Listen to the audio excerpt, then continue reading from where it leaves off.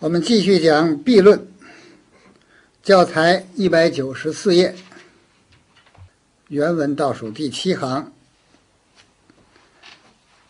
开始讲。前面呢，我们上节课已经讲过了。现在从“诸弊不已，意义内也。其风气盛者，其人异矣也。”从这往下呀，就是讲的这个痹症的深浅、易治难治，以及针刺治疗的一些个原则。诸痹不已，意义内也。各种痹症。如果不能及时、尽快的痊愈而拖延下去的话，它都可以向内传变。教材有注释，那个“意”就是这个“意”，满意、留意，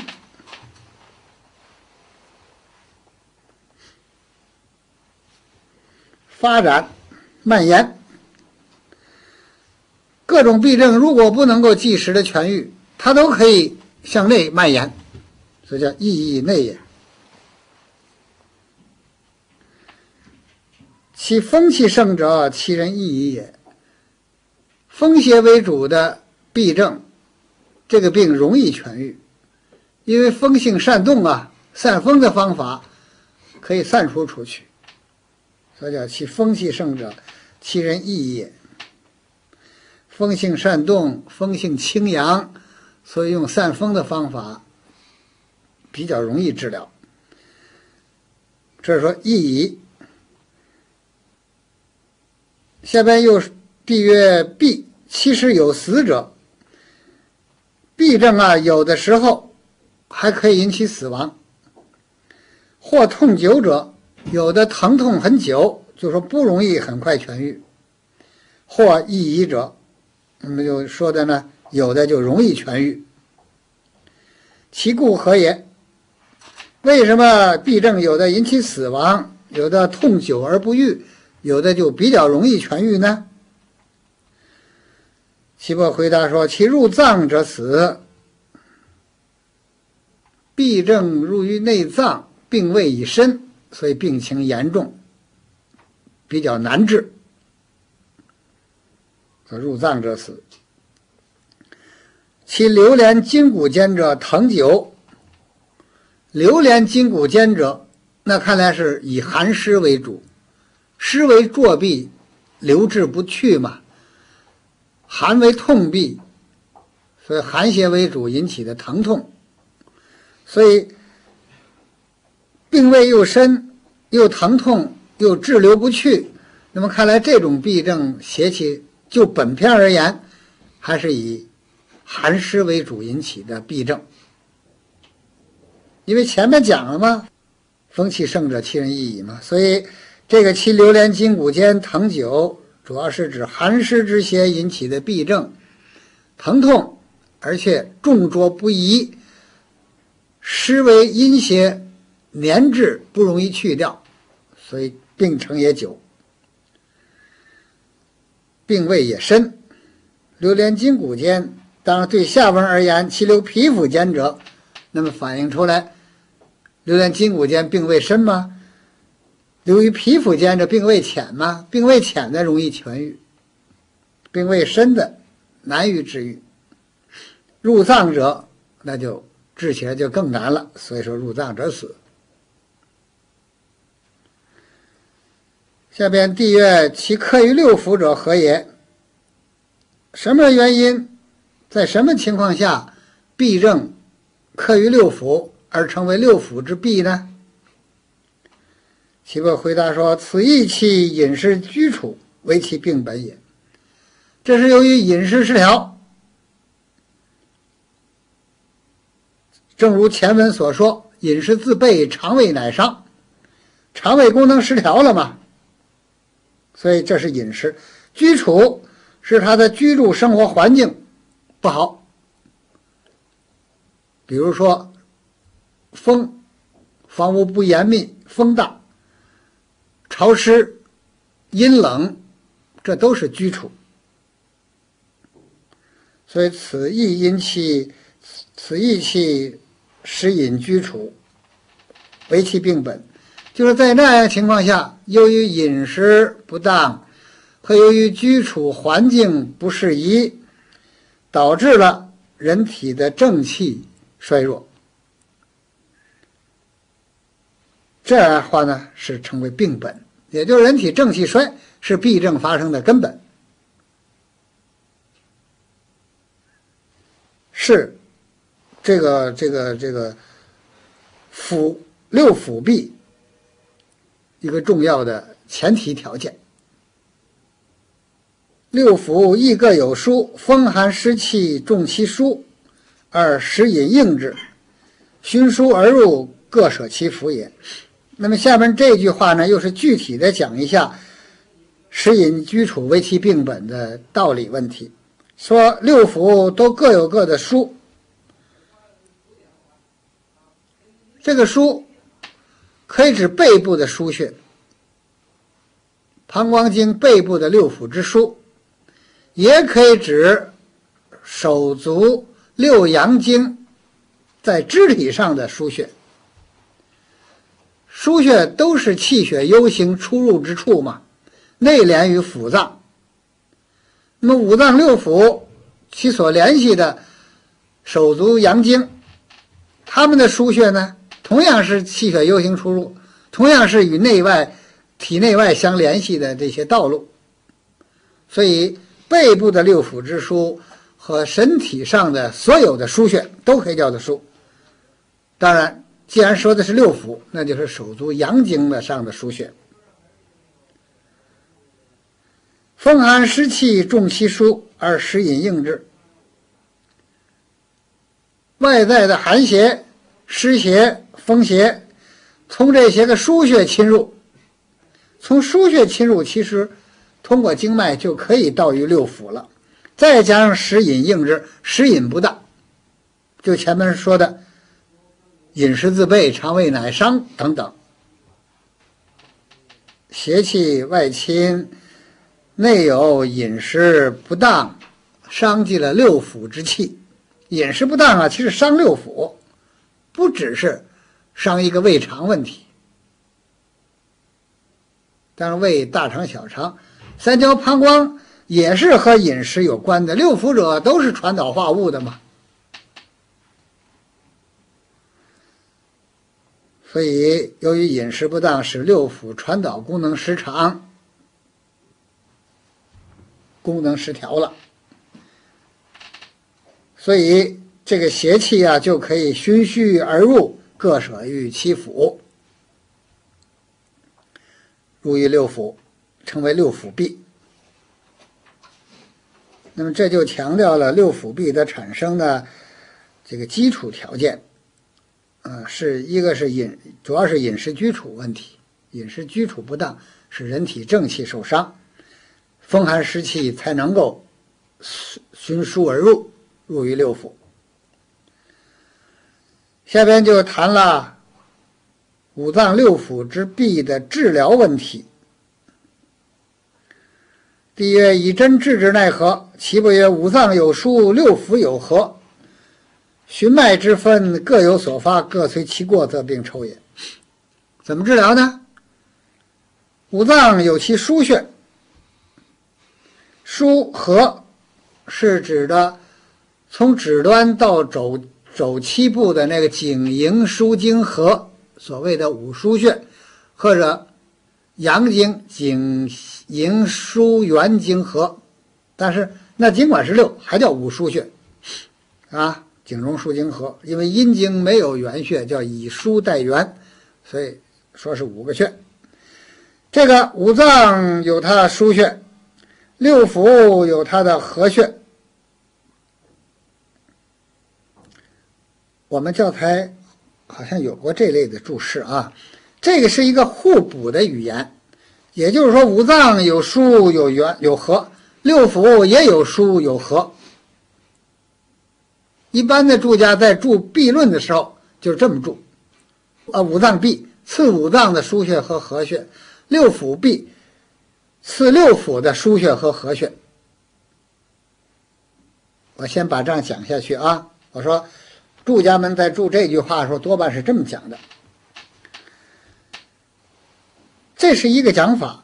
可是呢，我们刚讲完了咳论，咳论可是也有在脏者治其枢，在腑者治其和，浮肿者治其经，也是说在脏治枢，在腑治和。这个道理呀，前人的说法就不一致，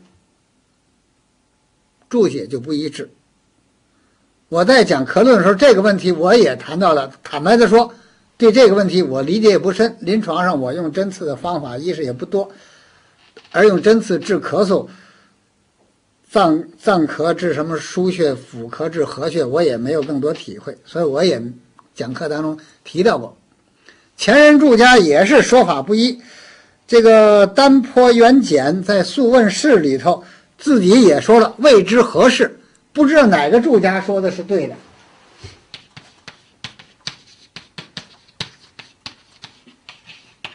他是在评论了若干家的对这个解释之后，自己下的结论，他也说未知何事，不知道谁说的对，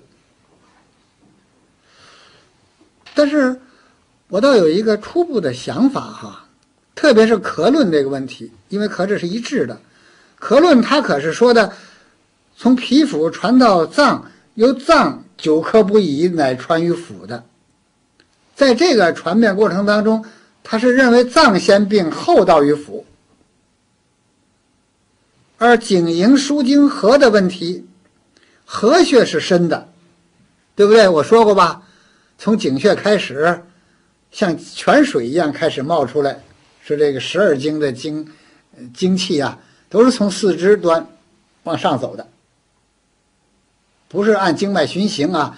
他说精气的流入都是从肢端开始，所出为井嘛，开始像泉水一样冒出来，往里往上慢慢上，从从肢端往内行走。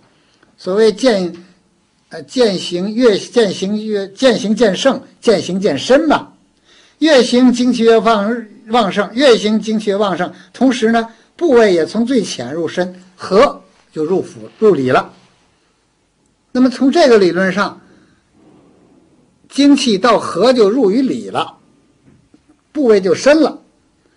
所以说，疾病传遍呢，它也是说从脏传到腑的。起码科论上说的这个比较清楚，因此似乎在这个关这个病看来，腑病反而是最后的，比脏病还要厚，甚至于还要深，不是我们一般所说的从腑传脏这个深浅问题。这种病它就有这么一个特点，既然是腑病是后期。是从脏传来，相对来说病情反而沉重了，病位反而是深了。那么，所以腑病次合穴，合穴是最深的嘛？这可以解释脏刺其疏，腑刺其合。当然，这也是我的这样一个理解。总之吧，这个问题还有在临床实践中的研究。下边另外一针刺法是寻脉之分各有所发，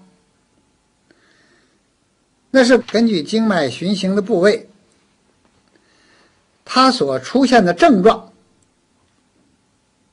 表现的这个疼痛的痹症的症状，疼痛也好，酸楚也好，表现在什么部位？这个部位相当于什么经脉？因为经脉循行各有所。啊，各有它的规定的路线嘛，所以疾病的所表现出的症状，看它是属于哪一经的，那叫做寻脉之分各有所发，随其过，各随其过，则病抽也。那就根据它所表现出来的部位，疾病的症状部位，判断是哪一经。然后在这经上取穴针刺，或者说，有可能的话，直接针刺疼痛部位。那肢表上的、体表上的这个肢体臂刺疼痛部位没问题嘛？当然脏腑臂刺不好，不能直接针刺内脏，特别五脏不能深刺，不能刺的。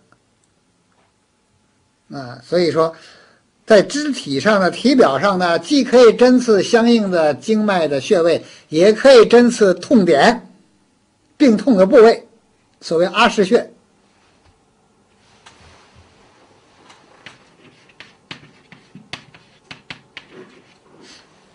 那以痛为书，《灵枢经》的金经篇把它叫做以以痛为书。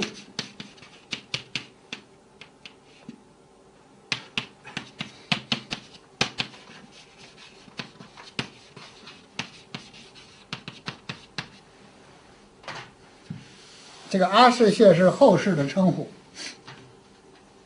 是一种象声词，所以按这称啊，阿是。这以痛为枢呢，是《内经》的原话。以痛为枢也是各随其过，有些个疼痛部位不能针刺，那你就应该考虑这个疼痛部位是属于哪一经，在经脉上相应的经脉上去取穴，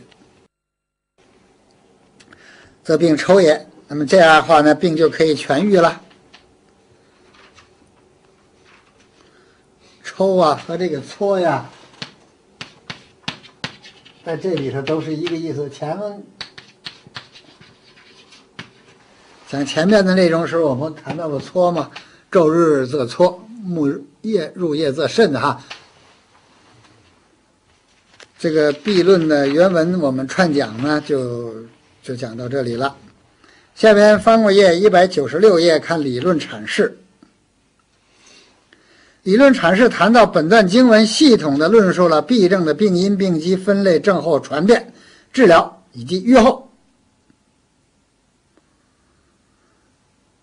可谓是《内经》论述痹病的重要文献。《内经》还有其他的文献讨论痹症，挺多的，但是这个毕竟是很主要的，所以呢，借着这个问题。借着讨论弊论，下边谈了关于弊的含义、弊的发病机理、弊的分类，以及弊症的预后和治疗原则问题。因为我们选有关弊症的问题，虽然《内经》不止本篇，但是我们只选了这篇作为主要一篇选过来，所以借着这一篇。把《内经》里关于痹症的有关问题进行个理论阐释。关于痹的含义，我讲过了。作为这个字来讲，痹就是闭塞不通的意思。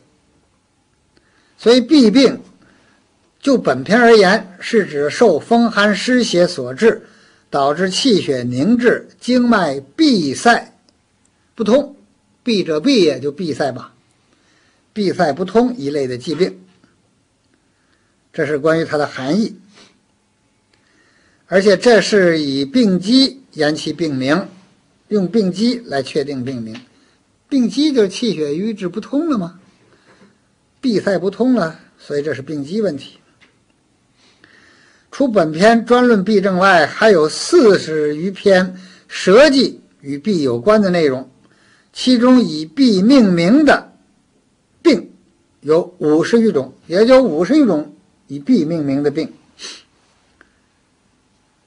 现在现在就就《内经》所论痹之含义呀，可以归纳有这样四点：痹的含义有四点，一为病名，其实这是病名或者病机，痹症啊病名问题。一是病名，痹症是病名，泛指风寒湿邪所致气血经脉闭阻不通一类的疾病，作为病名，当然也是病机，由病机命名嘛。这是含义之一。在《内经》里头，关于痹症那个“痹”字，第二所指是指痛风利解病，是指痛风利解病，就是关节疼痛，各个关节都疼痛。叫力解风吧，经历每个关节都痛，所以叫力解风。这也叫痹。比如《灵枢·寒热病篇》所说的“骨痹举解不用而痛”，还有本篇所说的“行痹、痛痹、捉痹”，这都是指的肢解的疼痛问题。就是肢解的疼痛也叫痹症，好像我们现在口头上常说的“痹症”，痹症多半是指这种关节疼痛的一类的病。真说胸痹呀、心痹呀，这反而比较专业语言更深了一些了。第二种是指的关节疼痛这类的病。第三节是指闭塞不通的病机。啊，这是指的闭塞不通的病机。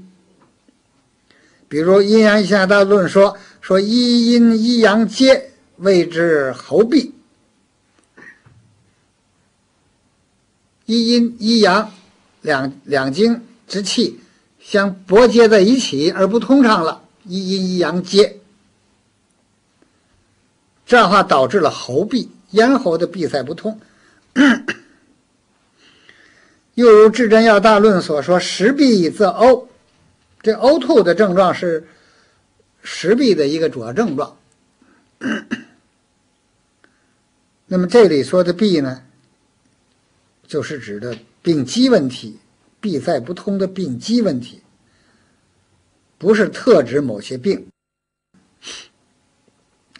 第四，对于是对阴分病的泛称，病在阳分，病在阴分呢？这大体分类吗？病在阴分，泛称叫做痹。《灵枢·寿尧刚柔篇》所说的，病在阳者名曰风，病在阴者名曰痹。《素问·玄冥武器篇》所说的“邪入于阴则痹”，痹的含义，它是说病在阴分，那都叫痹。所以说，关于痹的含义，就《内经》里边看有这样几类，我们作为一个归纳，大家学习方便。第二，关于痹论的痹的这个发病机理，以及痹的病因问题。你看，我们教材上谈的是病的发病机理。那么，实际上一开始第一条小点谈的是病因。本段所说的病因是风寒湿三气杂质，很少单一侵入人体的。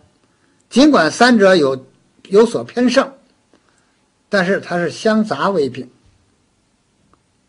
所以风寒湿三气杂质合而为痹嘛。但是要知道，《内经》里头关于痹病的病因，可不止这个风寒湿，也有热邪。在本篇下边也谈到了，也有痹热，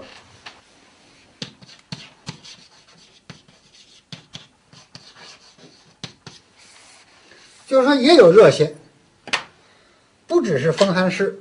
当然，本篇下边所谈到痹热。是风寒湿侵入体内之后化热，它叫痹热，但是化为热，它也是病邪了。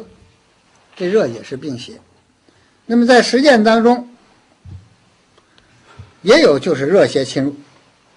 那么一开始病就是热的了。所以就病因来说，本段本篇强调的是风寒湿三气。那么其实呢？湿热痹在目前临床上并不是少见的。湿热痹，那么湿热痹呢，也可能是由于风寒湿三气杂质侵入体内，化为湿，流为热，或者化成热，本来就有湿邪嘛，寒邪可以化热。那么也可能是由于直接就受的是湿热之邪。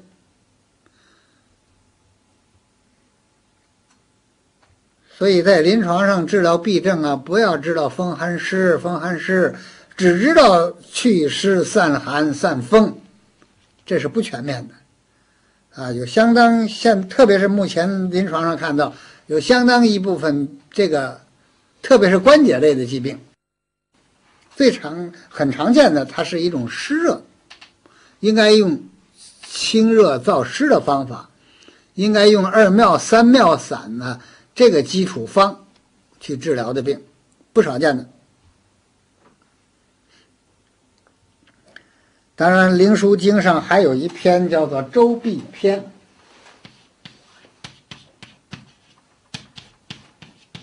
周痹又谈到了两个痹症，一个是周痹，一个是重痹。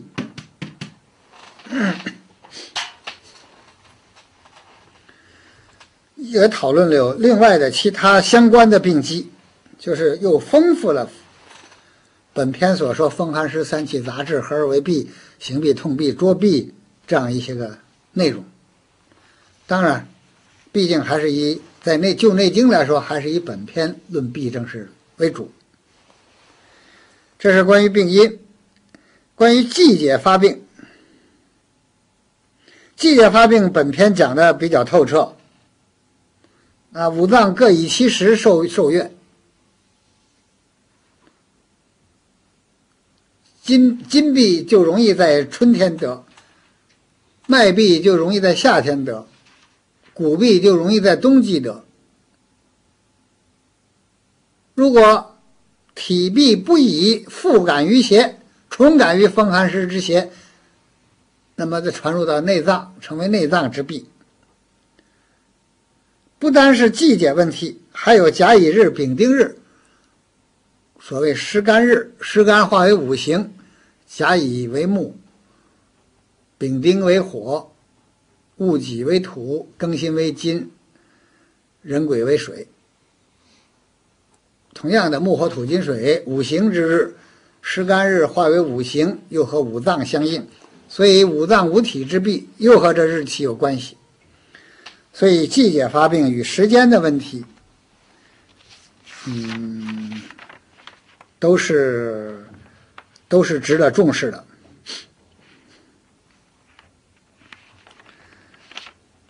这是一第第二点啊，病机的第二发病机理。第二点，第三点，关于五脏病的发病机理。五脏病的发病机理，在一百九十七页那个那个第一个小的自然段，这小自自然段里头。关于五脏痹的发病机理，谈了这样四点：一点是病久就入脏，痹症久了就可以入脏，五体痹可以传入到五脏；是第二个内容是各脏应时，也就是各脏在其所相应的季节感受风寒湿之邪，而发为五脏之痹。第三个内容，这这个部分的第三个内容是讲的五脏经伤，五脏精气受伤，那就容易产生五脏之痹。第三个内容，第四个内容是说营卫失常，营卫失常，不能够正常的营养内脏了，所以呢，就可以出现内脏病。所以五脏病的发病机理问题这一段。讲了这四个内容：一是病久入脏成痹；一是各脏在其所相应之时容易感受邪气而发病；第三是五脏精气受伤，成为痹病发生的五脏痹发生的一个基础因素；第四是营卫失常，也是痹病发生的一个体内的条件。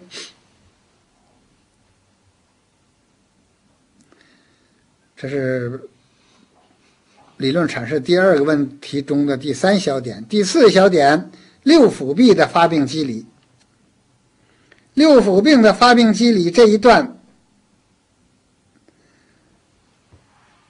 其的发生是循经入腑。六腑病的发生啊，提到的是循经而入于腑。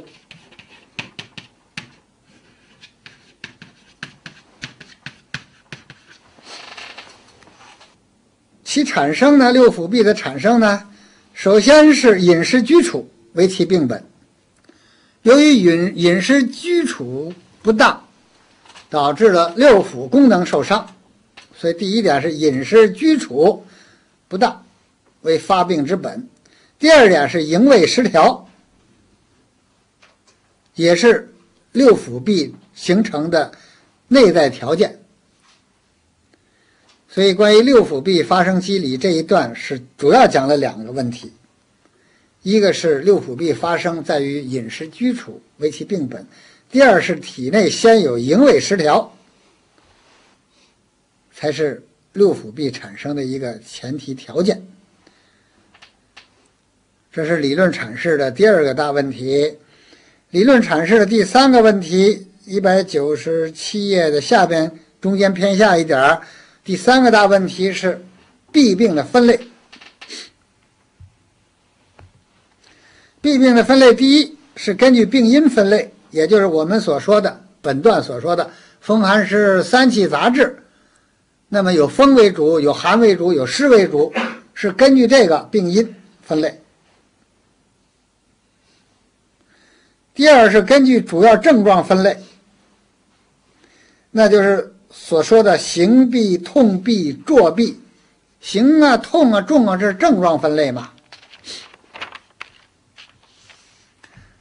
当然，刚才我提到了，呃，《灵书》的周痹篇还有还有这个周痹、重痹一些个分类方法，而周痹呢，它也是游走环绕。周遍全身，那叫周痹，也是根据症状特点来命名的。因为疼痛的部位广泛，那就叫做重痹，也是根据症状特点。三分类的第三个方面呢，是病性来分类，那就是有寒有热有湿，有的痹寒。有的痹有热症，使人发热；有的痹多汗而湿，这是根据这个什么呃病性，有寒有热，这属于病性嘛？性质。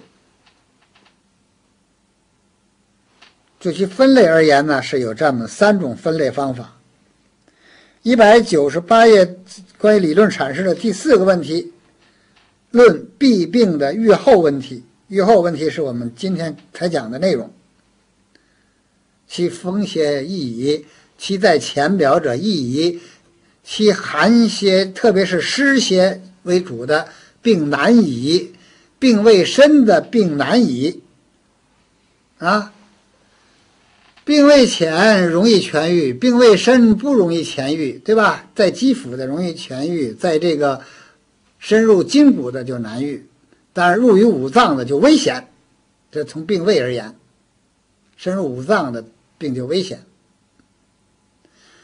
再有病程长短，病程短的就痊愈，病程久的就难愈。病程、病位、病程、邪气、病因、风邪易移，寒湿之邪就难移。再有，还有一个叫。那是后边讲的哈，本本段没有讲，后边谈到了这个愈后的问题啊。有个其病不痛，痹症不疼痛，难移。痹症是不是是痹症？但是它不疼，反而难治。后边要谈到这个人不仁或者不痛的问题。把这个道理，因为在讲愈后问题，这一起讲了先。为什么不疼了，他反而病重了？实际上说，病情久，病未深，气血啊就不营养那些个部位了，闭闭的部位，不营养的部位固然是有时候疼，有时候就不知道疼了，失去这个知觉了。就不营养了，等于是虚虚的很厉害了，他反而不疼。这个举个例子，你们临床上可以看到的，有些病人是关节病，咱们叫痹症，或者现在说的是类风湿吧。举例就说是类风湿吧，类风湿开始时候肿痛、关节疼痛，那并不算是最重的，最重到最后不痛了，他可也就不能动了。这个临床啊，见到过肢体变什么形就是什么形了，最惨的，我记得在七十年代初的时候，到这个那个那个汉沽，就天津郊区有八大沽，到汉沽去，我们在这叫开门办学的时候，到农村里去。七十年代初有一个三十几岁的一个男子，那就卧床不能动了，身子什么样就是什么样。你要给他翻身，就一个干树枝子一样翻过来。当然，他这个小动作底还能做一点，所以就在床上躺着，还能编织点麦秆之类的小玩意儿，那就真的不痛，就这么只能这么待着。你要给翻什么，他就什么，这都是固定住了。是不是痹症了？是，还疼不疼？就是不疼了。那是从小得的病，那这条件也差。所以呀，这不疼痛的病久病深而不痛的，那是真是难治。我们作为医疗队，给您也看过几次，嗯，疗效不好。最后的理论阐释的关于痹病的次治原则问题。次治原则，一是辨证论治，所以五脏有疏，六腑有和，寻脉之分。二是根据疼痛的部位辨治，就是啊，以痛为书啊。咱们这指出了是灵枢的金金经篇，灵枢的金经篇啊。这不是治疗原则有两个吗？一是辨证论治的，属于五脏的治五脏六腑之弊的，可以刺腧穴、刺合穴啊，还可以根据经脉循行的部位。来取相应经脉上的穴位，再有就是根据疼痛部位哪儿疼刺哪儿，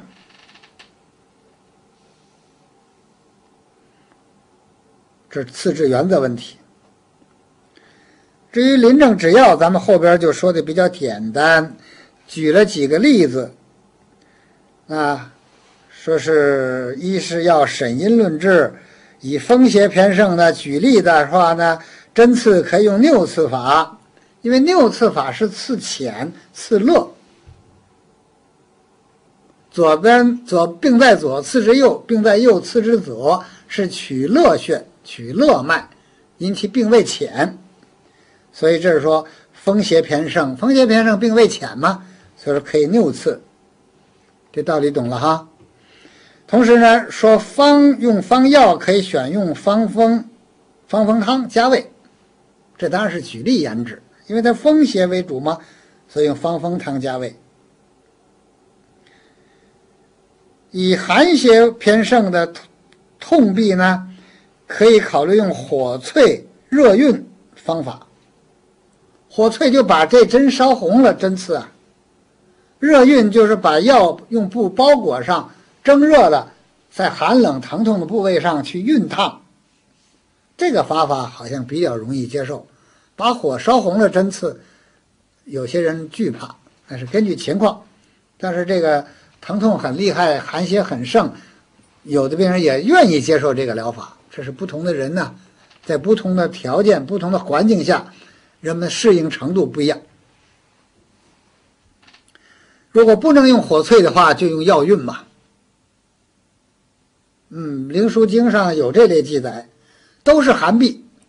但是他说，如果是劳动群众，所谓布衣之士，那可以用火淬；说是王公大人、是高粱后卫这些人，他耐受性就不行，那就可以用药运。所以这个治寒痹啊，根据病人的情况、个体情况来选择，所谓因人制宜。方可以选乌头汤。甘草附子汤之类，散其寒，温阳散寒。若是以湿邪偏盛所致的诸痹，可以考虑捐痹汤。刚才我也谈到了一个，如果是湿热呢，可以二妙三妙这类的方法。这是关于审因论治。第二点是脏腑定位论治啊，根据痹病所在脏腑而选用不同的治法。比如说心痹，用苓桂猪肝汤、瓜蒌蟹白半夏汤之类。肝痹用肝痹散，肺痹用肺痹汤之类。这当然是一种举例说明，可选方子很多。第一段呢，痹论的第一段我们就全部讲完。下边看第二段，在一百九十九页。一百九十九页这一段是讲的什么内容呢？是营卫逆乱受邪而为痹。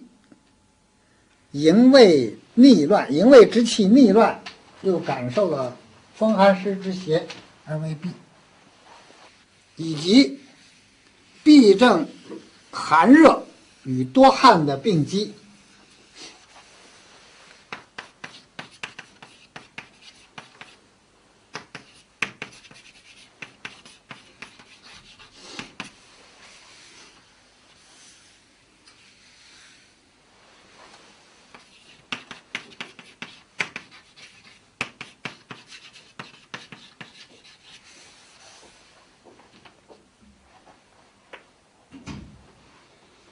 因为逆乱受邪而为痹，以及痹之寒热与多汗的病机。这段是讲这个内容，我来读一遍。帝曰：“营卫之气，亦令人病乎？亦令人痹乎？”岐伯曰：“营者，水谷之精气也，合调于五脏，撒陈于六腑，乃能入于脉也。”故循脉上下，贯五脏，乐六腑也。胃气者，水谷之汗气也，其气飘寂华丽，不能入于脉也。故循皮肤之中，分肉之间，熏于荒漠，散于胸腹。逆其气则病，从其气则愈，不与风寒湿气合，故不为痹。帝曰：善。痹或痛，或不痛。或不仁，或寒，或热，或燥，或湿，其故何也？岐伯曰：痛者寒气多也，有寒故痛也。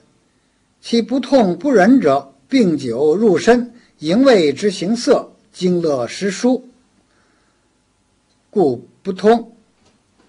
皮肤不仁，故皮肤不盈，故为不仁。其寒者，阳气少，阴气多。与病相异，故寒也。